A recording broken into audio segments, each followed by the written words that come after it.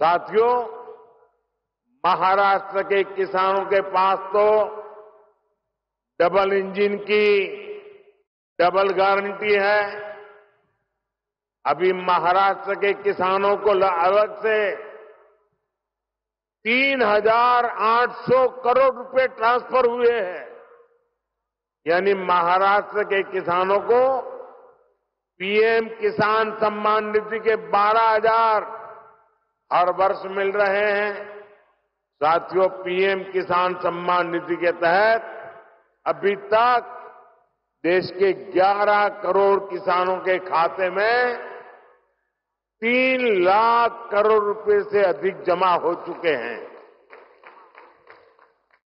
इससे महाराष्ट्र के किसानों को तीस हज़ार करोड़ और यवतमाल के किसानों को 900 करोड़ रुपए मिले हैं।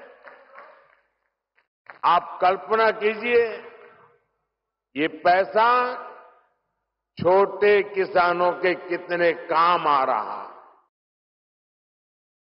कुछ दिन पहले ही हमारी सरकार ने गन्ने के लाभकारी मूल्य में रिकॉर्ड बढ़ोतरी की है। अब गन्ने का लाभकारी मूल्य 340 रुपये प्रति क्विंटल हो गया है। इससे महाराष्ट्र के करोड़ों गन्ना किसानों और खेत मजदूरों को लाभ होगा। कुछ दिन पहले ही हमारे गाँवों में अनाज के गोदाम बनाने की दुनिया की सबसे बड़ी योजना आरंभ हुई है। ये गोदाम भी हमारे किसानों की सहकारी समितियाँ हमारे सहकारी संगठन बनाएँगे। वे ही इनको नियंत्रित करेंगे।